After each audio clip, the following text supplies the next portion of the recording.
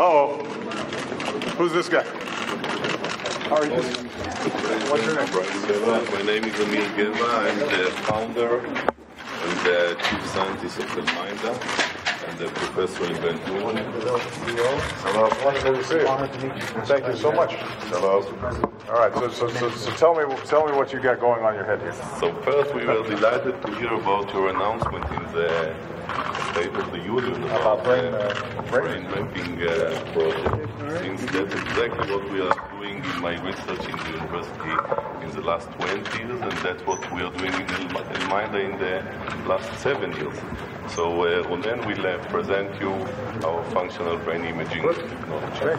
So every uh, good mapping starts with a good measurement. So I first measure the brain of the of Amir, Right. and it's uh, 128 electrodes Right. that are put on his uh, cap and down. How does that feel? Like your hairnet. It measures the You have to presuppose that there is something to measure, right? We, We'll see in a minute. Now I will offer. So uh, it measures electrical activity, which are generated by his neurons, so it's neural activity. So clearly, what we first see is that Amir is alive. It's That's a good, good. sign. It's a good start, and his brain is functioning. And we measure it while he's performing a certain task. In uh, this case, a game which is uh, evoking certain functionality of his brain, like attention and memory.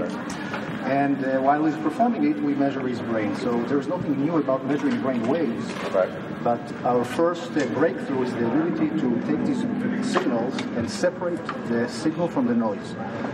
Now, the second part is going to the next uh, one, is the ability to take this code and decipher it into meaningful clinical information, namely millisecond by millisecond visualization or reflection of brain functional activity.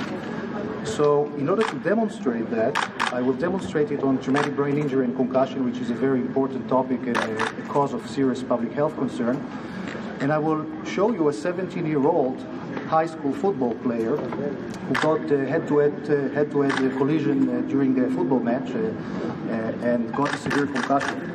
So looking at the uh, current standards, if you take his neuroimaging or CT scan, he's completely normal. Looking at his symptoms, which were very high in the beginning, but they are resolved within three weeks. And his neuropsychological or performance, cognitive performance, is pretty flat and non-conclusive. So he returned to play in three weeks.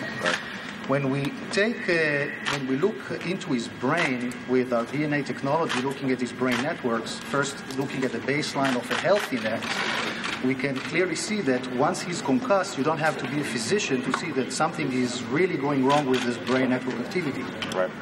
So, following it over a course of uh, four weeks, we clearly see that this particular 17 year old guy He should have stayed out for four weeks as opposed to. Exactly. Because after three weeks, his uh, brain activity was not yet resolved. So, what excites uh, clinicians and parents alike is the ability to really see what is going on in this person's brain. So, uh, we have So is this primarily uh, a diagnostic tool, uh, or uh, are you able to actually pinpoint uh, from, from, a, from a treatment perspective? Our, our, what we're showing you here is a diagnostic platform, but we have a treatment platform as well that if you see a malfunction, we'll try to fix it with a nerve stimulation of electrical current injected into the brain. But this is uh, the diagnostic part and the monitoring part. And uh, we have some significant collaboration with the University of Pittsburgh Medical Center, and in particular with the medical staff of the Pittsburgh Steelers, with the University of Michigan, uh, with Robert Kraft and the New England Patriots, and um, also uh, recently, thanks to the introduction of uh, Dr. Kuhlman, uh, we initiated the research uh, with the Navy, and uh, also we are in discussion with Walter Reed, uh, traumatic brain injury, Absolutely. in order to be able to uh, Could be very baseline uh, kids, athletes, and soldiers, be able to monitor them once uh, wounded. Uh, so this is uh, very exciting for us, and uh,